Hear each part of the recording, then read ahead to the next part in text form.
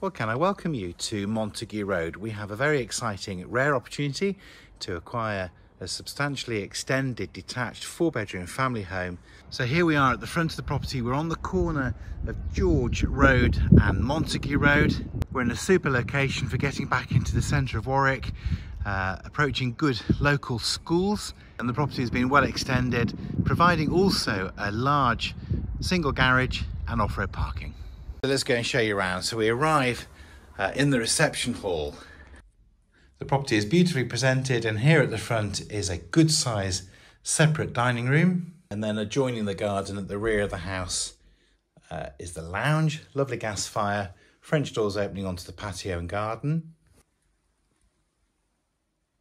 Come then to the rear of the house and this is where we really begin to see uh, the beauty of the extensions. There's a lovely light breakfast area here uh, to the fitted kitchen and then the kitchen here with appliances.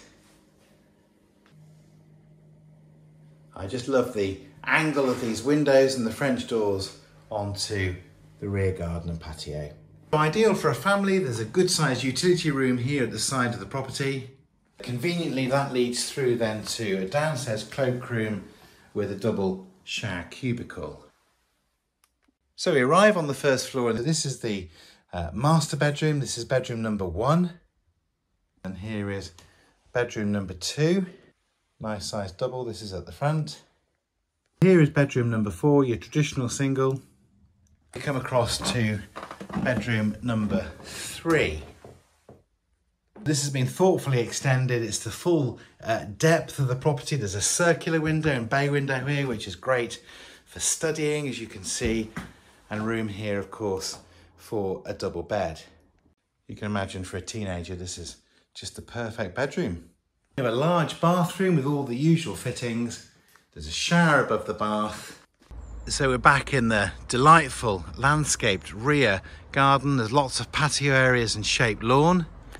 Steps up to the garden area. There's lots of paved patio areas and further storage.